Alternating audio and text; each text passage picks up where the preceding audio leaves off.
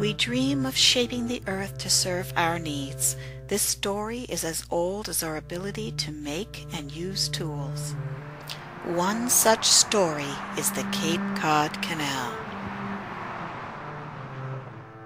From its glacial beginnings 20,000 years ago, Cape Cod is a large peninsula with two tidal rivers that almost connect to bisect it.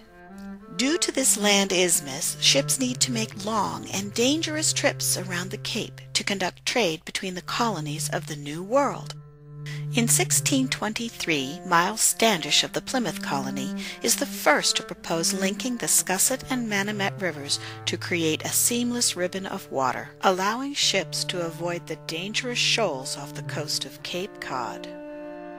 In 1776, George Washington investigates digging a canal to enable our fragile American fleet to sneak past the British blockade during the American Revolution. These two dreamers lack the technology to accomplish this huge task. Centuries pass and others dream of a canal to provide a safe and swift passage. During this time, thousands of shipwrecks are recorded off the coast of Cape Cod.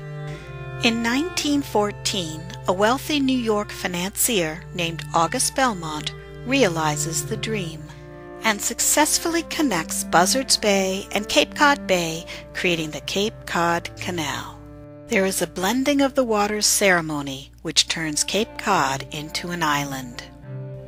Soon after the canal opens, ships pay the toll and take the hazardous shortcut through the new canal.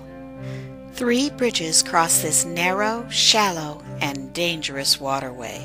Many shipping accidents follow, and the canal is not profitable.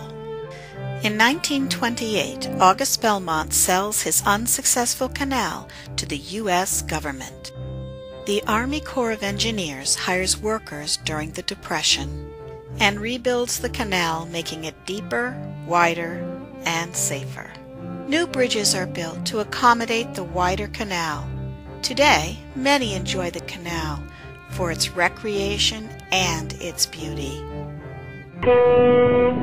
Ships safely navigate the world's widest sea level canal.